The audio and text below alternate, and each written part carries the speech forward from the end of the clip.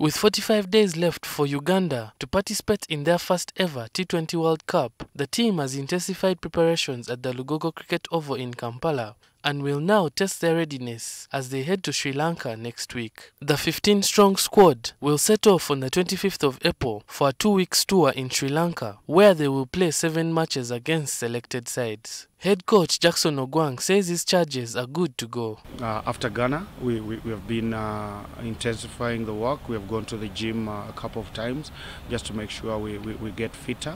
Uh, we've had a few net sessions uh, to make sure that uh, we're working on our skills, uh, we're maintaining the skills, and uh, and, and of course uh, uh, played a few uh, a, a few match simulation games. Ogwang is optimistic that the trip to Sri Lanka will fully prepare the team for the World Cup.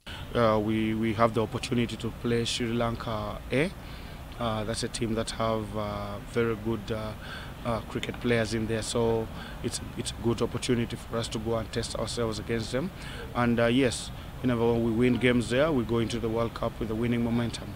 Uganda is pitted in Group C against Papua New Guinea, New Zealand, Afghanistan, and West Indies. Ogwang believes his team has the pedigree to stay at the biggest stage. Uh, knowing that uh, if if you win two games in the World Cup, you have a chance uh, of uh, direct qualification in the next uh, the next uh, World Cup means that we have to go out there, though we are underdogs.